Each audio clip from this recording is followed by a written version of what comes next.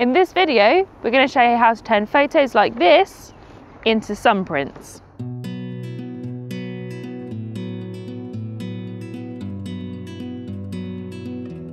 Sunprint paper is a special type that's based on the cyanotype process and it's sensitive to sunlight. You can pick it up online or from some craft shops. When you expose it to bright daylight, areas that block the sun's light show up in white and the rest of the paper turns a vibrant blue. You don't need a darkroom, any fancy kit or extensive knowledge of film processing to make a sunprint. Technically, you don't even need a camera for this project.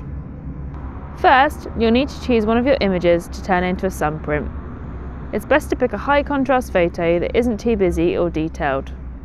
Invest the tones in editing software such as Photoshop, then print it out in black and white. We tried out a dark tree trunk against a bright sky background. Once you've got your negative printed out, you're ready to expose the paper. For this step, we're going to set up our prints in the shade, otherwise the paper is likely to start exposing too quickly.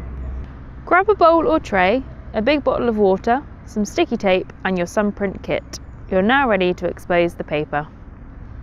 Fill up a developer container with water and set it to one side. Grab some sunprint paper, making sure its size roughly matches your negative.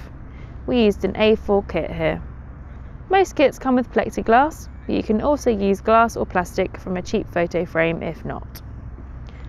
Place your negative on top of the sunprint paper making sure it's blue side up. Line up the glass, negative, sunprint paper and a piece of cardboard, then use a few bits of tape to secure it all together and stop it sliding around. Then let it bask in the sun for about 20 minutes and check the exposure of the paper by lifting a corner back from the frame. When the edges are white, it's fully exposed. On a cloudy day, you might need to leave it an extra 5 minutes. When there's a clear imprint of your image on the paper, rinse your sunprint. Take it off the back of the glass, remove the tape and place it into the water tray. It will change from a negative to a positive before your eyes.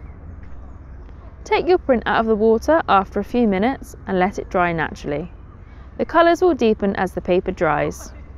Avoid touching the surface of the paper and ideally peg it up or lie it flat somewhere.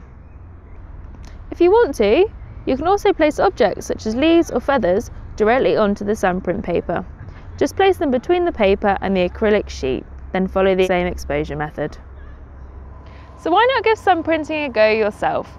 All you need is some sunshine, water and a bit of imagination.